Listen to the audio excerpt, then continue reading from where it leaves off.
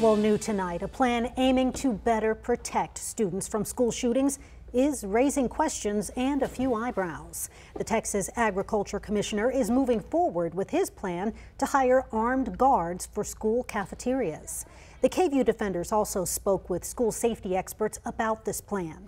Here's investigative reporter Jenny Lee, who had the chance to speak one on one with Ag Commissioner Sid Miller. Before I could ask, What's the farm boss doing sticking his nose in this? Sid Miller beat me to it. So cafeteria is something that, that's always on my mind.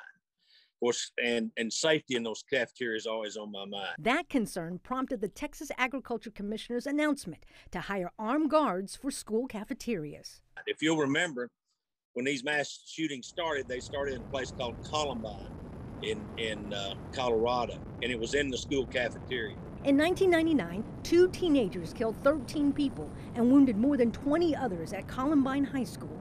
The following school year, 2000 to 2001, saw 30 school shootings nationwide.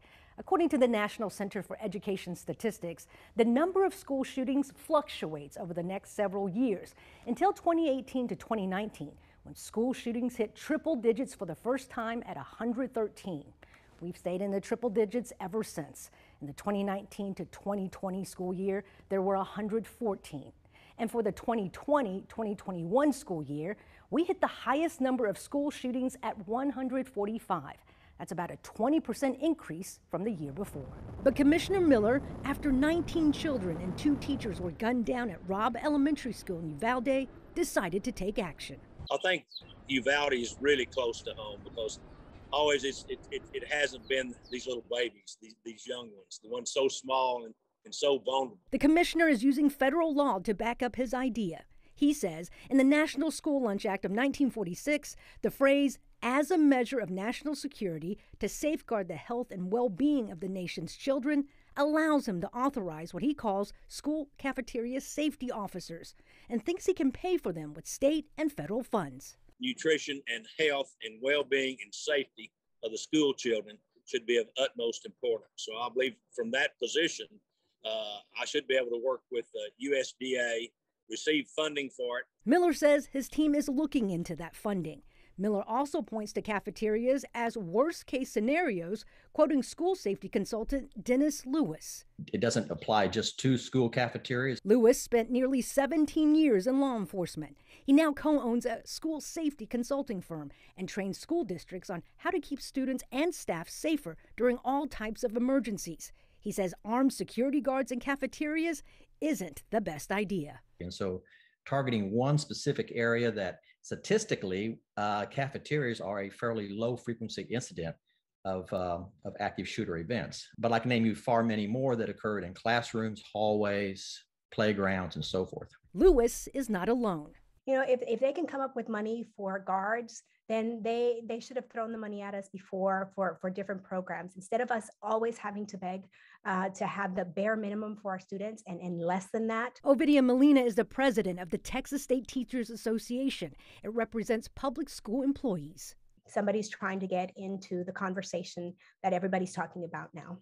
And, and again, somebody is not talking to educators. It's just one more politician uh, thinking that they know what happens in our schools. Instead, Lewis points to the Secret Service's most recent study called Averting Targeted School Violence. The agency's National Threat Assessment Center has studied how to prevent school violence for the past 20 years. It examined 67 disrupted plots against K 12 schools from 2006 to 2018.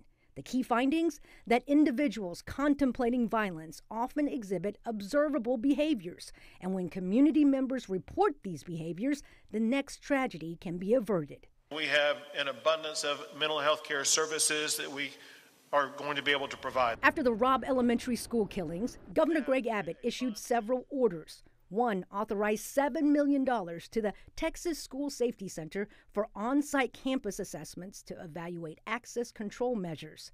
A spokesperson sent us more information about those audits. The in person random intruder assessments at school districts and charter school districts are expected to start in September. There is an urgency about this. Commissioner Miller also wants his plan in place by then as well. For the KV Defenders, I'm Jenny Lee. Jenny, thanks. Now, Commissioner Miller says he doesn't have a dollar amount for how much his program will cost just yet. He's waiting for all interested school districts to sign up first, and right now, three districts in Northeast Texas have expressed interest. Texas School Safety Center's director is also scheduled to testify before the House Appropriations Committee tomorrow. A spokesperson says the center is developing and finalizing the intruder assessments process over the next two weeks.